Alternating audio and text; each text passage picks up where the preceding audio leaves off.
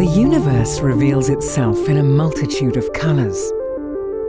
Even though Hubble can see a large part of the electromagnetic spectrum, from the ultraviolet to the near-infrared, it still cannot see the whole cosmic kaleidoscope.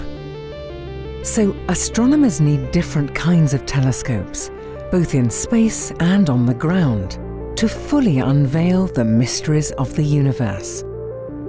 And Hubble plays a key role in this essential telescope teamwork.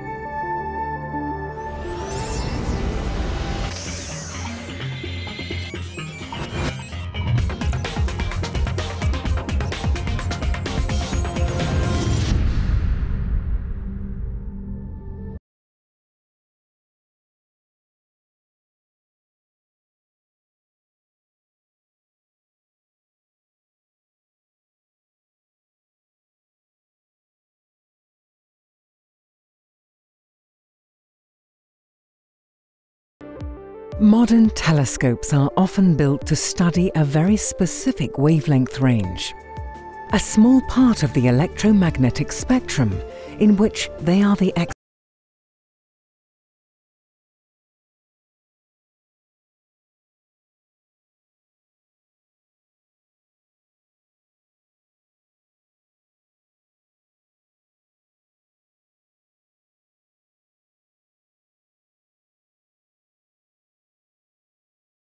history of galaxy formation and the chemical structure of galaxies are just two of the many astronomical puzzles that scientists would like to solve.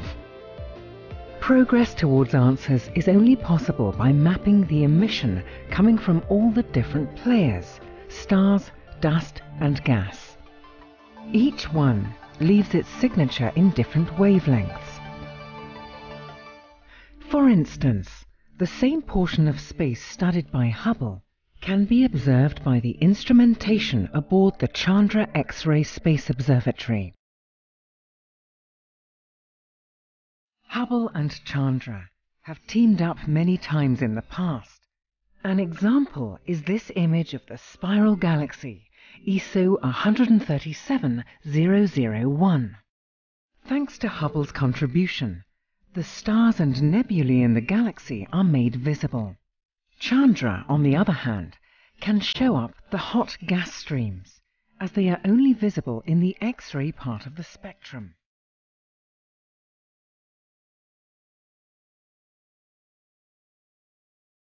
But Hubble is not only working together with other space telescopes, it also cooperates with ground-based ones. And while telescopes in orbit have the advantage of being immune to atmospheric turbulence, instrumentation on the ground can be continuously updated and often show a bigger field of view. A good example is ESO's Very Large Telescope on Cerro Paranal in the Chilean Atacama Desert.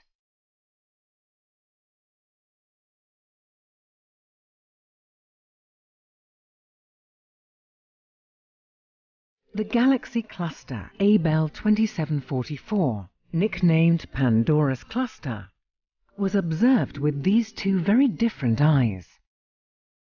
The combined data showed that Pandora's cluster is in fact not one cluster, but the result of a pileup of at least four separate galaxy clusters.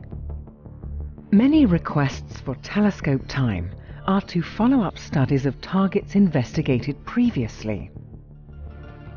In 2015, astronomers combined older Hubble data with new observations from ESO's Very Large Telescope. The latter had just been used to discover some previously unknown structures within the dusty disk surrounding the nearby young star AU Microscopii. Only on comparison with earlier Hubble images of the same object was it discovered that the features on the disk had changed over time. It turned out that those ripples are actually moving, and very fast, a sign of something truly unusual going on, and still today an unsolved mystery. In the last 20 years, The hunt for exoplanets has become a crucial and very prolific field of study in astronomy, a field in which almost all telescopes try to make their mark. For this hunt, Hubble teamed up with the Spitzer Infrared Space Telescope. Together, they produced the largest comparative study ever of 10 hot Jupiter-sized exoplanets.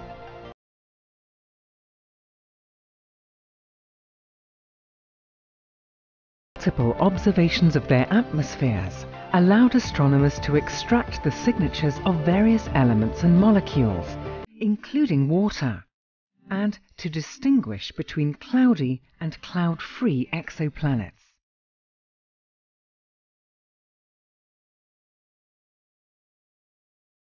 Sometimes, more than two telescopes have to work together to achieve a common goal. To witness the earliest stages of a massive galaxy forming in the young universe, astronomers used the power of four large telescopes, Hubble, Spitzer, ESA's Herschel Space Observatory, and the Keck Observatory in Hawaii. Together, the four telescopes observed the early growth of a galactic giant as it appeared 11 billion years ago, just 3 billion years after the Big Bang. The next big partner of Hubble will be the forthcoming NASA ESA CSA James Webb Space Telescope. It's scheduled for launch in 2018. While Hubble can see ultraviolet, visible and some infrared light, James Webb is specialized for the infrared. With this capability, it will be the perfect complement to Hubble. Together, they will write another chapter in the story of successful telescope teamwork.